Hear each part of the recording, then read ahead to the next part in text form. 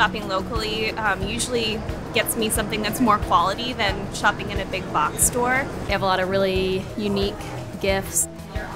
We hand make everything, so it's something different than just going to a normal boutique, I guess. You know, it has that personalized touch. Try to carry stuff that you won't find at Toys R Us or Walmart. Money goes further with small businesses, it stays in the economy. I love being a small shop um, where I can bring in the best of everything.